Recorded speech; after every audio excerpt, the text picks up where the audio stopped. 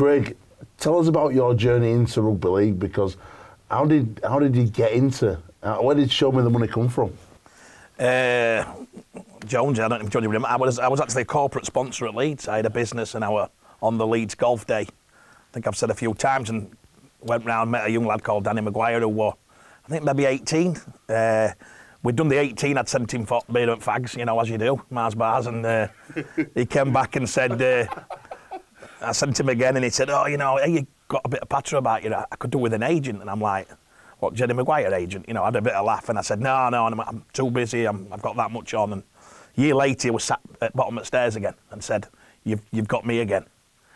I thought, right, there's something in this kid. I don't know what it was. And we went round, and then by 16th, he'd convinced me to take him on. So I did a bit of research and said, bring your family, let's meet.